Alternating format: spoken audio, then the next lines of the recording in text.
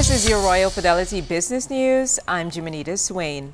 Sterling Financial Group announcing that it's agreed to purchase Caledonian Trust Limited and Caledonian Directors Limited, both out of the Cayman Islands.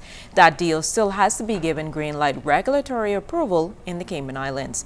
A press release from the company outlines that the acquired company will maintain their current offices and staff, but will be renamed Sterling Trust Cayman Limited and Sterling Directors Limited. That is, once approval is granted by the Cayman Islands Monetary Fund. In other business news, Darvel Wong Realty looking at attracting high net worth Chinese investors interested in moving their investments to the Bahamas, as well as those looking to secure residency status. Firm co-partner William Wong said he was encouraged by a recent meeting with the ambassador who pledged to assist the firm wherever it can to facilitate Chinese investors coming here. This summer, the real estate firm hopes to visit China and meet with key stakeholders, as well as explore the possibility of having a representative in China who can position a firm to attract ultra-rich investors to the Bahamas.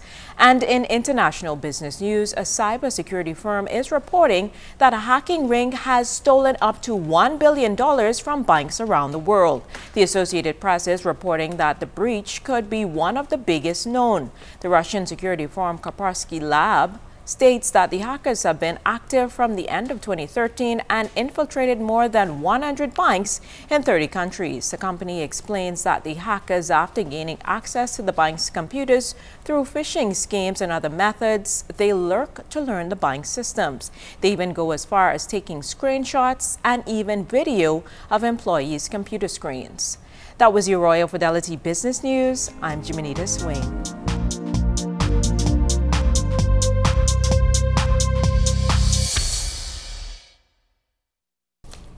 St. Agnes Anglican Church Men and Women Organization celebrated 51 years of service to the church and the community recently.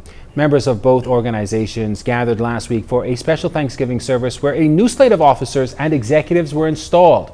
During the event, Father Whitfield Hutchinson commended the men and women for their work. 51 years is a long time.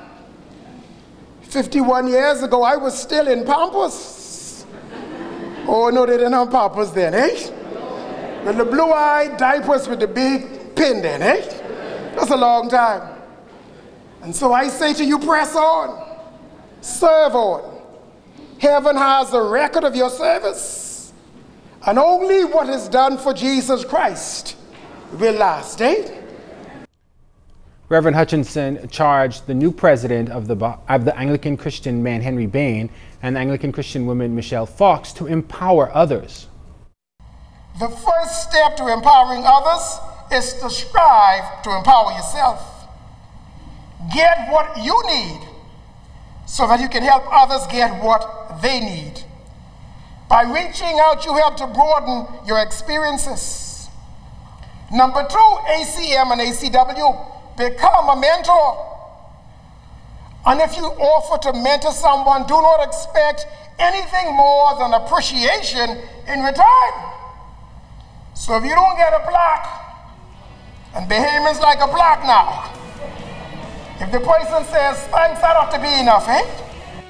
He took on farming as a hobby, but one Family Island farmer says he is not now growing a crop he thinks can lead to major industry for Crooked Island. We get that story from Cleopatra Murphy. Crooked Island farmer Elton McKinney has developed a passion for passion fruit and believes he can develop it into a major industry on the island. For the past year and a half, he has been growing the fruit, which he says makes a great juice, and the crop's output has been encouraging. The farmer makes juice which he distributes locally, and he says natives have been passionately buying it. Hopefully, in the very near future, what I'd like to do is um, uh, get a, a serious industry going out of it, making the drink, drink and also exporting the fruits maybe up to Nassau or wherever there's a good market I can find, you know. McKinney, who does small scale farming, took it on as a hobby five years ago as an aside to his main job, bone fishing. He cleared the land by hand and says he intends to expand his current two acres to grow more crops. His crops include papaya, sweet pepper, cabbage, tomato, goat pepper, and cassava. He says more people should grow their own food. As long as you can um, uh, feed yourself, you're good to go. Because, like I said, um, uh, instead of going to the food store and buying all this stuff, you can grow right here on the island, you know. Like I said, here on the island, things are very expensive, and if the mailboat doesn't come, like I said, um, uh, you know, there's nothing I'm uh, here, you know. So uh, the mailboat brings in everything, and after a day or two, the food stores run out of everything. So if you can um, uh, grow your own stuff, it'll be much better, and it also is organically grown. McKinney says he supplies a local restaurant and local hotel with some of his crops, shares some with family, and keeps the rest for himself. However, McKinney says he wants to make it more of a business and is looking for government assistance to facilitate that. For the past five years plus, I've been, you know, trying to encourage and agitating for assistance from BAIC and from the government. But unfortunately, I ain't getting no assistance not yet. But still, you know, trying and doing what I can on my own, you know. The farmer says while he started the farm just as something to do, he's becoming more serious about it. He also enjoys being able to eat what he had a hand in growing. Cleopatra Murphy, ZNS Network News.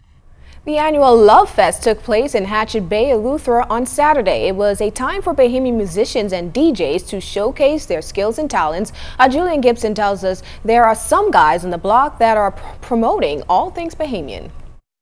Entertaining the crowd in Hatchet Bay on Friday night was Dyson Knight.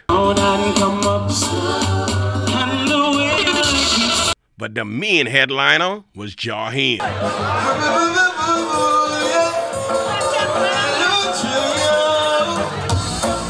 For promoter Javero Camp, it's all about promoting Bahamian music and musicians. A young Bahamian, one of the young role models for the young fellas.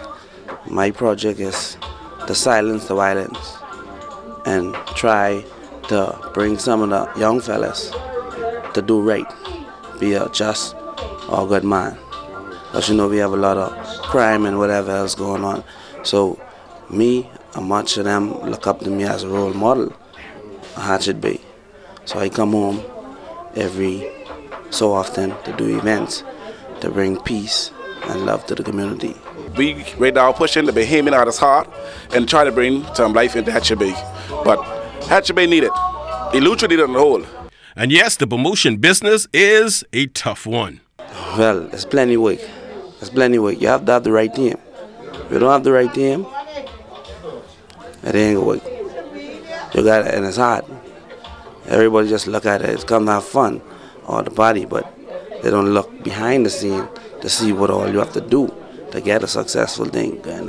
But according to Promoter Camp, he still believes there's a taste for Bahamian music in the country. It's what we give the people. If we give the people Bahamian music, they can accept it. But if we give them the Bram Bram, then they accept it. It's whatever you do. That's why they always say bend the tree while it's young. So if you don't do it like that, that mean and the young fellas coming up and they have Bram Bram music, that's what they go adapt to. Now there are future events planned for the island of Eleuthera. Reporting for the ZNS News Network, I'm Julian Gibson.